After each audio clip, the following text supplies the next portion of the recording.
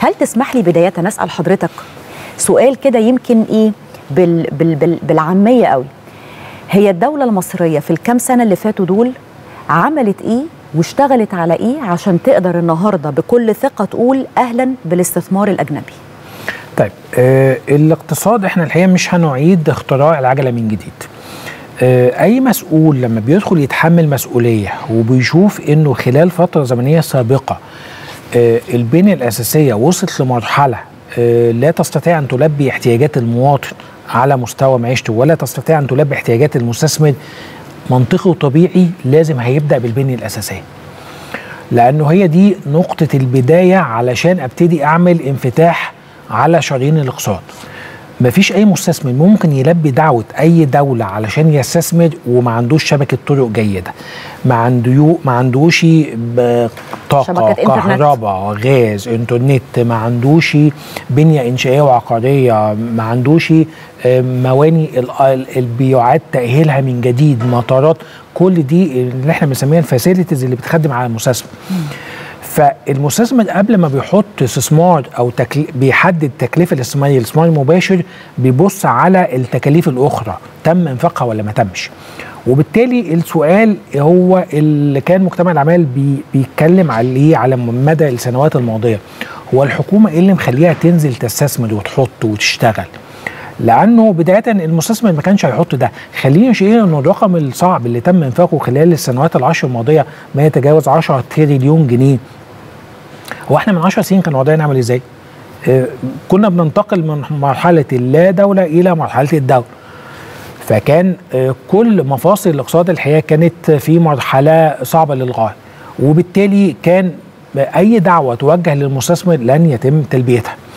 فكان أمر منطقي وطبيعي إنه الاستثمار العام هو اللي هيتحرك إنه الحكومة هي اللي هتنزل بنفسها علشان إيه؟ عشان تشتغل لأنه ما فيش مستثمر قطاع خاص في ظل كل المتاع اللي كانت فيها الدولة المصرية نظام سياسي غير مستقر نظام تشريعي ما كانش موجود نظام قضاء بيحدث عليه تعديات ما كانش مستثمر ممكن يفكر في هذا الأمر ولا حتى صندوق النقد ولا مؤسسات مالية دولية ممكن إنها تبص لاقتصاد مصر.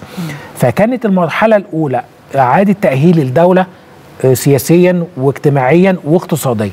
وبالتالي كان نقطة البداية المنطقية إن إحنا نحط فيه البنية الأساسية علشان لما نيجي نخاطب المستثمر يلبي الدعوة لما نيجي نقول للمواطن إحنا بنحسن في المستوى المعيشة يكون لديه إقناع بس هو اللوم والعتاب على المواطن إن هو الحقيقة آه بينظر بنظرة ضيقة للغاية إنه هو شايف إنه مستوى المعيشة بس في إنه الأكل والشرب موجودين.